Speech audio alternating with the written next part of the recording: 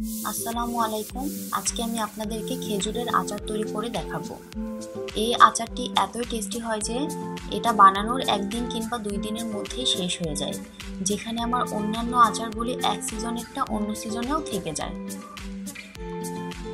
চলুন তাহলে দেখে নেওয়া যাক কীভাবে আমি আচারটি করেছি।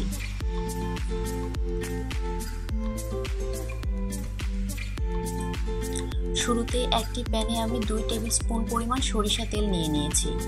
আচারটি যেহেতু আমি খেজুর দিয়ে করছি, তাই তেলটা আমি পরিমাণে একটু কম নিয়েছি। দিয়ে দিচ্ছি শুকনো মরিচ। মরিচের কালার একটু চেঞ্জ হয়ে এলে এতে আমি দিয়ে দিব রসুন কুচি।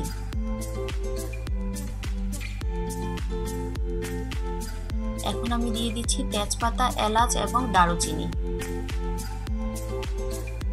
সবগুলোর কালার চেঞ্জ হয়ে এলে এতে আমি দিয়ে দিব চারশো গ্রাম পরিমাণ খেজুর।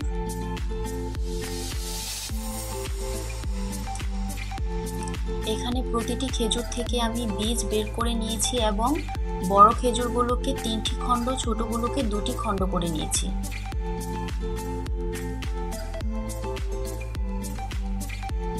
এখন আমি এতে দিয়ে দিচ্ছি চিনি। খেজুর নিজে যেহেতু একটি মিষ্টি ফল, তাই এতে চিনিটা পরিমাণে একটু কম ব্যবহার করেছি। নিয়ে নিচ্ছি তেঁতুল টক পানি।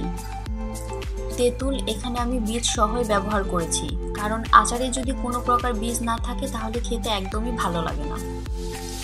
এছাড়াও এই তেঁতুল পানিটা চিনিকে গলাতে এবং খেজুরগুলোকে নরম করতে সাহায্য করবে।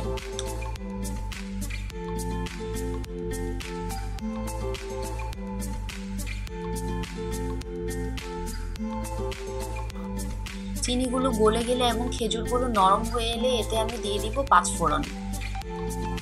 আর এই পাঁচফোড়নের সাথে আমি পরিমাণ মতো ঝালও বেটে নিয়েছি।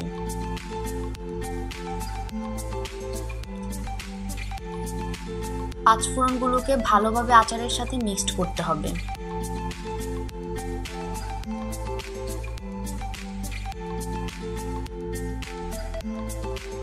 ক্রমাগত আচারগুলো নাড়তে নাড়তে যখন প্যান থেকে আলগা হয়ে আসবে কিংবা নাড়া দিলে যে কোনো একদিকে চলে যাবে, তখন বুঝতে হবে আচারগুলো হয়ে গিয়েছে।